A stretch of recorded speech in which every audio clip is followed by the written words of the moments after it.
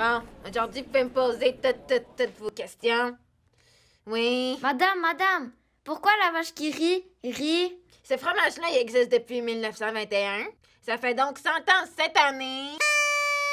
Ben, euh, qu'elle rit, puis ça attend qu'on lui pose la question.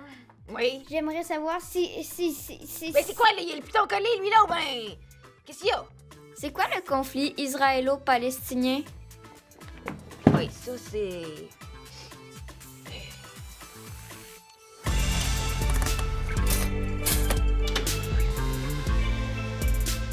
Depuis le 10 mai dernier, on assiste à des attaques entre Israël et la Palestine. La première semaine d'affrontement a fait plus de 200 morts, en grande majorité des Palestiniens. Des dizaines de milliers d'entre eux ont dû fuir leur maison. Ce qui se passe en ce moment, c'est un conflit qui date pas d'hier. Ça dure depuis au moins 70 ans. On l'appelle le conflit israélo-palestinien. C'est pas toujours aussi intense que ce qu'on voit aujourd'hui. Mais au fil des décennies, on a assisté à plusieurs épisodes de violence. C'est sûrement un des conflits les plus complexes au monde. Même les experts trouvent ça compliqué. Mais aujourd'hui, on te l'explique pareil. Bon, alors, euh, petite leçon de géographie. Israël, Palestine. Israël et les territoires palestiniens sont juste ici. Israël est un pays. Ses habitants sont principalement juifs et on les appelle les Israéliens. La Palestine n'est pas un pays officiellement reconnu. Elle est composée de deux territoires, la Cisjordanie et la bande de Gaza. Ses habitants sont principalement arabes et on les appelle les Palestiniens. Les tensions entre les Israéliens et les Palestiniens viennent en partie du fait que les deux peuples veulent occuper le même territoire dans la région historique de la Palestine.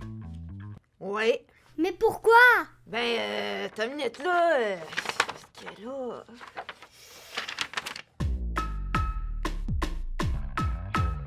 Les Juifs et les Arabes veulent tous les deux occuper le territoire parce qu'ils souhaitent vivre sur les terres qui ont été habitées par leurs ancêtres.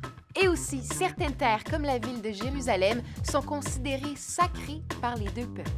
Autour des années 1900, les Juifs vivent de la discrimination en Europe. Pour se sentir en sécurité, certains d'entre eux ont envie de bâtir leur propre pays sur les terres de leurs ancêtres. Le problème, c'est que ce territoire-là est habité par le peuple arabe depuis des centaines d'années et disons qu'il pas très content de les voir s'installer. Avec l'arrivée massive des Juifs, on commence à proposer des plans pour partager le territoire en deux. En 1947, les Nations Unies approuvent un plan de partage qui prévoit la création d'un État juif et d'un État arabe. Le plan est accepté du côté juif, mais rejeté par beaucoup de dirigeants du côté arabe. Mais malgré ça, l'État d'Israël voit le jour en 1948, alors que la Palestine, elle, n'est toujours pas reconnue comme un État aux yeux des grandes puissances occidentales. Bref, la division du territoire est une grande source de conflits depuis longtemps. Et il faut comprendre que le combat ne se fait pas nécessairement à armes égales. Israël est un pays moderne avec une armée très puissante, alors que les territoires palestiniens ont moins de ressources. C'est en partie parce qu'Israël contrôle la majorité des entrées et des sorties des Palestiniens et des marchandises sur leur territoire. Et tout ça, c'est la base que tu as besoin pour comprendre ce qui se passe aujourd'hui.